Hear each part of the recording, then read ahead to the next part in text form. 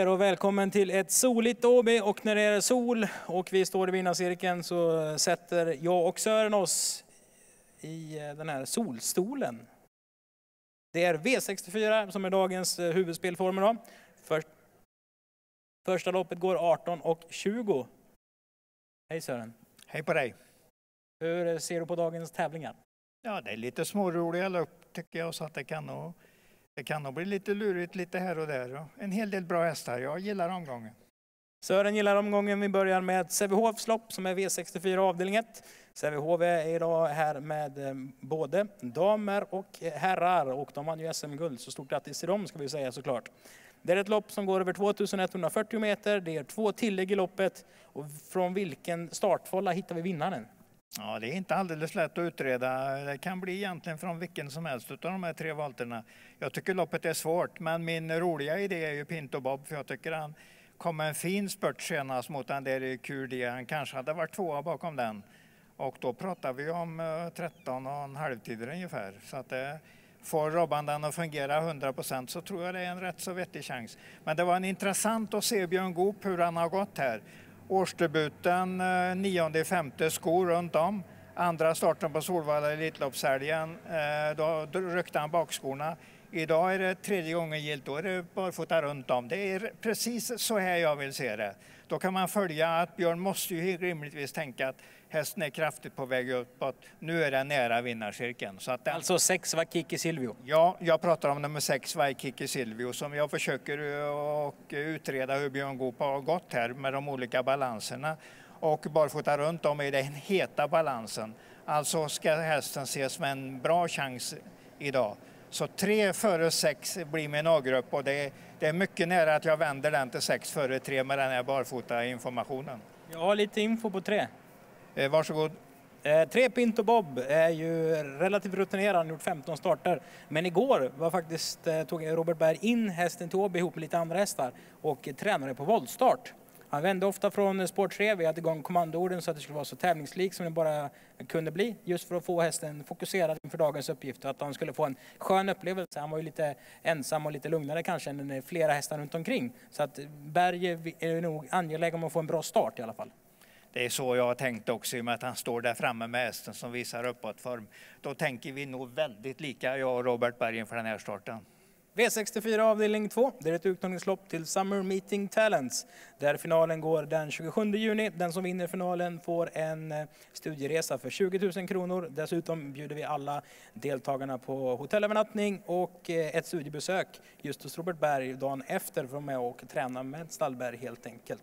Zlatan Nick, han vann ett liknande lopp Alltså ett annat eh, Summer Meeting Talents-lopp över annan distans på Halmstad. Blir det favorit i repris liksom? Ja, jag tror nästan det. Dante körde den fint och det, den har ju läge för att kunna upprepa den eh, triumfen så att den, den blir min första häst. Garderar jag så tar jag ju Seatacket som jag inte vet riktigt, riktigt vad jag har, hur bra den är, men den har ju väldigt lika resultat med, med Zlatanik. De har ju ettor och tvåor blandat båda hästarna så att det, ja. Det, det är ska... de två som är A-hästarna. Jag, jag hittar egentligen ingen tredje som jag tycker är farlig. Men det är många B-hästar med i så fall? Ja, men det är det ju faktiskt. Och Henriette tar man ju alltid med. Om man ska ta med B-gruppen så tar man ju Henriette Larsens körning och då kommer man på tolvan som ändå kommer från seger. Så att har man råd att ta några till så är det väl 12 och kanske 11 som jag tycker eh, var klart förbättrat senast. Nummer tre där är också lite intressant, men den, eh, det var formtecken på den senast. Men eh, den har ju faktiskt aldrig vunnit och jag kollade också kusken. Hon är ju bara 16 år och har heller aldrig vunnit på 19 körningar. Så det är ett helt segerlöst ekipage. Ja, men det var Skånes största ponnychampion i alla fall fem år i rad. Ska jag lägga in veto med då? Jag har inte sagt någonting illa om henne överhuvudtaget. Jag bara drar fram fakta som gäller inför starten. Det gör mig ingenting om den vinner och skräller för jag tycker hästen ser formstark ut. Det var ett sånt eh, bevis på senaste starten där. Jag tycker den var jättebra. Så att vi lite håller jag tummarna för den faktiskt. Sen kommer väl alla som spelar V64 spika i V64 avdelning 3, häst nummer 4, Inspektor. Gör de rätt eller gör de fel? Jag tror de gör rätt för att det var en mycket bra eh, avslutning senast. Den var till och med grymt bra för den här klassen. Björn Goop gör det eh, ytterligare ett, eh, en tanke här, har ett, säkert en mycket positiv tanke inför den här starten för han rycker skorna runt om. Alltså barfota runt om idag, bra spetsläge från spår 4. Jag tycker det ser riktigt, eh, riktigt bra ut. Har du någon andra häst?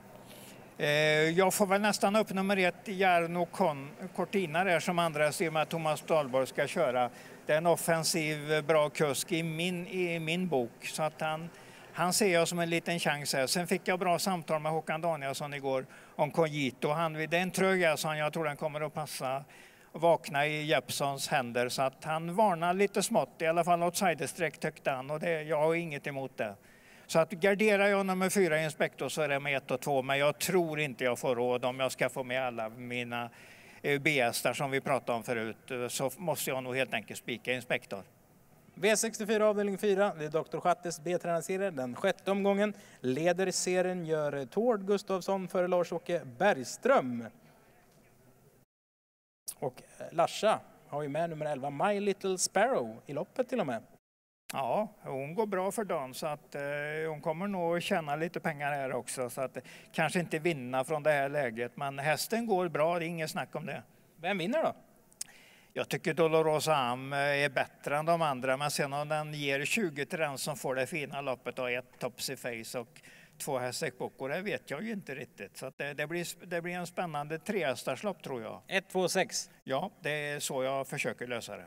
V64 avdelning 5, det är ett utbildningslopp i Summer Meeting-serien. Finalen går i Halmstad under Sprintermästarmeetinget. Och förra gången han var här så pratade du väldigt mycket om André Ward, nummer tre. Då stod han i 16.30 och slutade tvåa. Vad sa den insatsen? Ja, det var, jag tycker det var en formstark insats. Den fick stryk kort för mötet av Chio Tom Jet, tror jag han hette. Ja. Och den hade jag 10,6 på sista tusen, den eh, som Henriette Larsen körde den gången. Så att det var ingen skam att ta stryk för André gjorde ju jobb, André Reward gjorde ju jobbet runt eh, från bortre långsidan till in på upploppet och hade greppet och hade den smygande bakom. Så att det var, det var ett formstarkt ekipage som slog André Ward. Den kan vara vinnaren idag. Den är i alla fall mycket, mycket tidig på min lapp. Jag håller den nog som första häst. Men det är många, många farliga hästar emot. Är det det? Ja, det tycker jag. Nummer fyra, Pelle Barroso, vet jag ju inte riktigt hur bra den är, men Björn Goop kör barfota igen. Och jag tycker nog den går ner lite grann i klass eh, mot den, det V75-loppet som var senast. El Camino gillar jag ju skarpt. El Camino Demange nummer fem. Ja, den gillar jag ju skarpt. Det är starka långspurter på den på slutet, vinner snart. Och eh, Tobias Del Ronco med, eh, kommer ju från eh, Stig Johansson till eh, Wimpal. Jag tror det är en het outsider det också. Så de åtminstone. V64 avdelning 6, det är Solvatos 2-serien, den tredje omgången. Den hästen som har flest poäng när vi summerar eh, får en levande fölavgift med avelshingsten Solvato alltså. Om vi har rätt så få streck, vi har ändå spikat på Inspector, vi har tre hästar i, i Dr. Chattes B-tränarserie. Är det här loppet vi ska liksom ha många streck i och på så sätt hitta de stora pengarna? Ja, det är en bra tanke eh, du har där. Ja, det var mer en fråga. Ja, eh, men jag kanske inte har någon riktigt farlig outsider, för jag tror ju att eh, Easy Creation tar ledningen och sen är det ju någon av Elidia Bocco eller Dallas As som blir farlig emot. Men nummer åtta, Cavidendron, där är det ju uppåtform på och det är bara fota runt om idag. Så att... Dessutom ifyllt med amerikansk sulky, vilket jag är tveksam på om den har gått innan.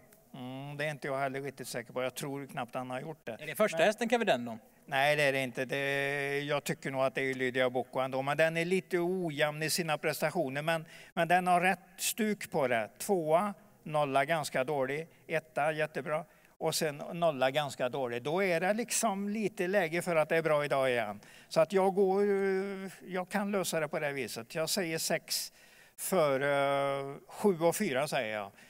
Fyran leder länge, men jag nästan känner på mig att det är någon som tar den till slut. Och Jeppson vinner ju väldigt många lopp och Cavidendron har han fått bra snurr på förut. Vann i derbyhelgen, där ser vi längst upp i raden, första september. Så att den, den blir farlig med barfota runt om. Om du säger jänkarvagn så är det ju inget negativt.